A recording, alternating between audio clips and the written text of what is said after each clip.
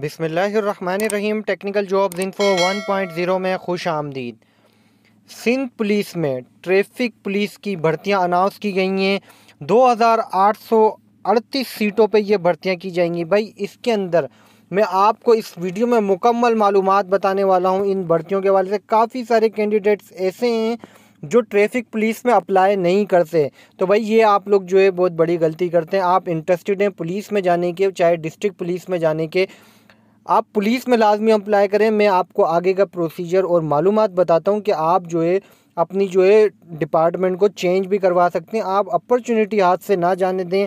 मैं आपको इस वीडियो में मुकम्मल तफसीत बताऊँगा। अगर आप चैनल पर नए हैं चैनल को लाजमी सब्सक्राइब करें ताकि आप लोगों तक चैनल के थ्रू पूरे पाकिस्तान की डेली की जॉब्स अपडेट और पुलिस की जॉब्स की मालूम बसानी पहुँच सके। भाई, यहाँ पर आपको मैं बता दूँ, भर्तियाँ अनाउंस की गई हैं। लेटेस्ट भर्तियाँ हैं सिंध पुलिस के अंदर, जिसके अंदर 20 मई 20 पाँच 2022 20 मई 2022 अप्लाई करने की आखिरी तारीख है, इसके अंदर अप्लाई करने की। ये आप लोगों की स्क्रीन पर आप लोग साइड में देख रहे हैं। यहाँ पर जो है, ये जॉब एड आ रहा है, ये जॉब एड है, जिसके लिए पूरे जो है, कराची से जो है कैंडिडेट्स अप्लाई कर सकते हैं। कराची की ये भर्तियाँ हैं। तो भाई, इसके अंदर जो है, मैं आपको मज़ीद मालूम बता दूँ, जो कैंडिडेट्स जो अप्लाई करना चाहते हैं, लेकिन नहीं करते ट्रैफ़िक पुलिस के अंदर। भाई, आप लोग ये गलती करते हैं। ट्रैफ़िक पुलिस में अप्लाई करें, अपॉर्चुनिटी है, बेहतरीन अपॉर्चुनिटी है। अप्लाई जब आप लोग कर लें तो भाई, कामयाबी के साथ आप प्रोसीजर अपने क्लियर करते जाएँ। और जो है, यहाँ पर एक चीज़ और बता दूँ, ट्रैफ़िक पुलिस के अंदर बहुत ज़्यादा चांसेस होते हैं भर्ती करने के, क्योंकि इसके अंदर कैंडिडेट्स बहुत कम अप्लाई करते हैं, ज़्यादा कैंडिडेट्स अप्लाई नहीं करते।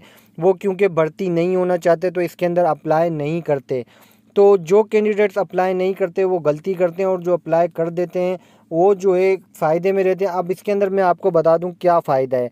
जो उम्मीदवार अप्लाई करते हैं अप्लाई करने के बाद जब वो अपॉइंट हो जाते हैं तो भाई यहाँ पर आपको एक चीज़ बता दूँ, काफ़ी सारे कैंडिडेट्स या काफ़ी सारे ऐसे होते हैं जो ट्रांसफ़र ले लेते हैं डिस्ट्रिक्ट पुलिस में। और ये एक चीज़ ये बता दूँ आपको कि ये ट्रांसफ़र जो है आप लोग कोशिश करते रहें तो आपको ट्रांसफ़र मिल जाता है। ट्रैफ़िक पुलिस के अंदर जो है ट्रैफ़िक पुलिस से डिस्ट्रिक्ट पुलिस में ट्रांसफ़र मिल जाता है।